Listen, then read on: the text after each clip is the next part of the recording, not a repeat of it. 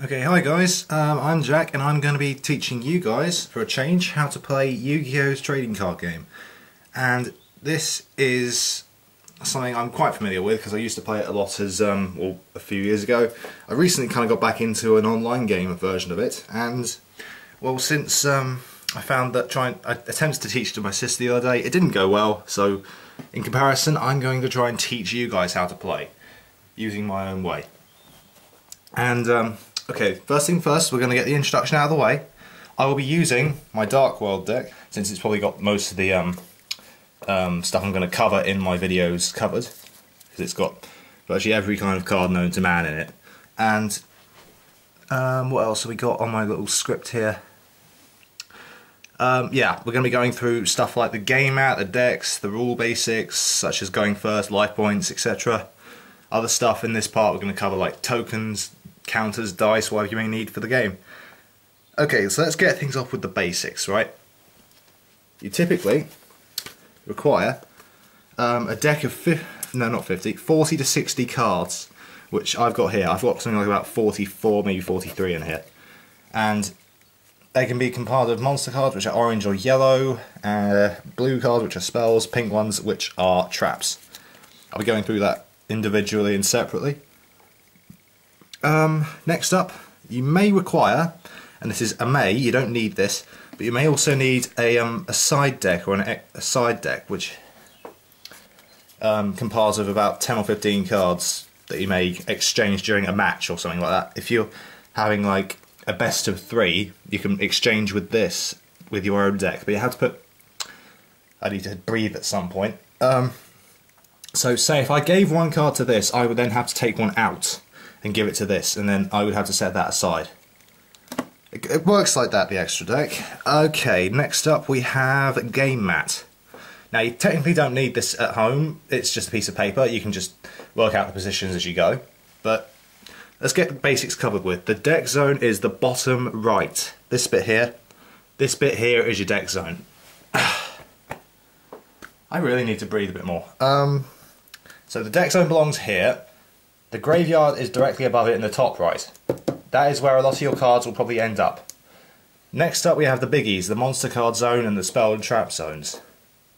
The monster card zones are for the orange, yellow, white, purple and blue cards, which are ritual, fusion, uh, normal monster cards, effect monster cards, and the synchro monster cards. As well as a couple of others, which I'll be telling you about in a couple of later parts. Spell trap zones for the pink and blue cards only. Or some monster effects may allow you to put monsters in there, but there's a few of those, there's not many. And that's those bits discussed. Now, we, I've kind of had to make do a bit with the space. Okay, on the top left we have your field card zone. This is for a special spell which can um, which you can play at any time if you have it in your hand. And you can put it there and it gives a effect to the, all the cards on the entire field. And finally we have the extra deck zone where your fusion, ritual, synchro and XYZ monsters belong, which um, I'm not too familiar with. I'm not keen on using... Hello Puss.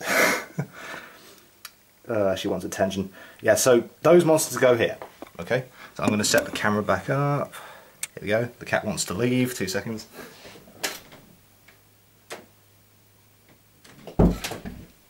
Really needs to learn to be patient. Okay, next up we have life points. Now you'll need a piece of paper and a pencil or two calculators. So at any way you can make sure you got um, a way of measuring it. I've personally done this because I just had little time on my hands to find calculators.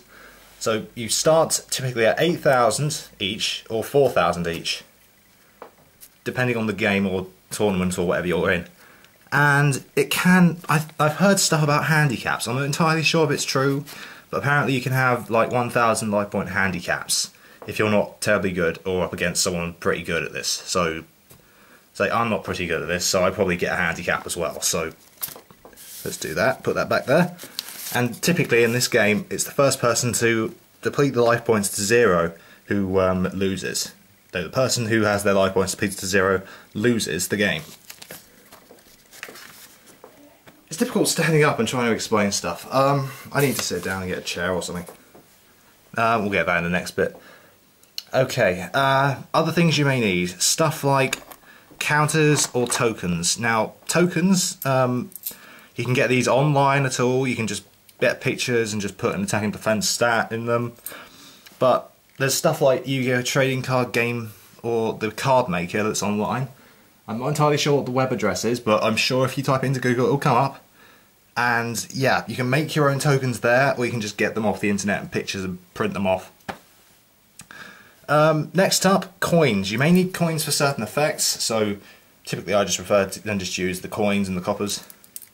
Uh, dice, some of them you may need. You can use the counter at some effects. And finally, um, counters. Now, some cards require counter effects in which you put counters on things. Now, I use coins for that because um, I just don't want to do anything else. It's the easiest option and it's the easiest way you can tell what to do.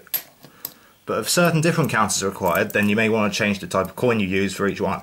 So that's basically it for the introduction. Um, yeah, so I'm going to be covering card analysis in the next part. So um, keep watching, guys, if you want to learn how to play Yu-Gi-Oh! trading card game.